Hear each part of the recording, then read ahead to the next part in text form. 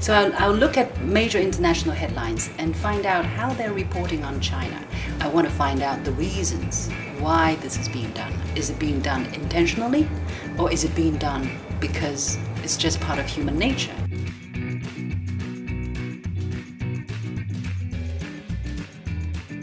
The headline buster is a kind of experimental idea because I always thought that the media, the, the media is a very important link in connecting people.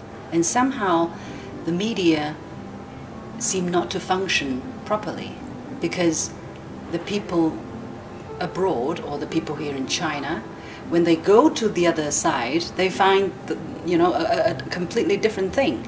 So I think the media has to do a better job.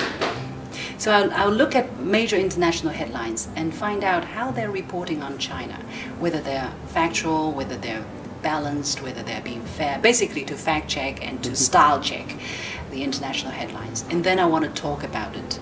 I want to find out the reasons why this is being done. Is it being done intentionally or is it being done because it's just part of human nature? So I wanted to, to do such a program and um, um, we also have a very strong belief that the new media, cell phone, um, and all of that, uh, social media, is the future.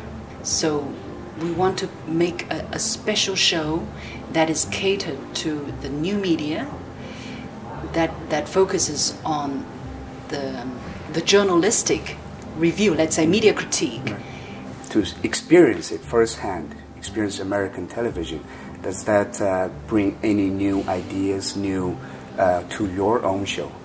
Absolutely. It makes me more conscious of myself as a journalist as well. Because in the past, you know, I was doing things from my own perspective and I was watching others, what the others are saying. And then when you hear how they feel about you, then you start start to realize that you have been pretty much doing the same thing, more or less. You know, sometimes in our show we say the U.S.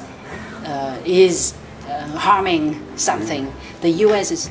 We need to be able to make powerful arguments that's backed with solid facts, that's backed with fair and balanced uh, information and, and sincere emotions, you know, as much as we can.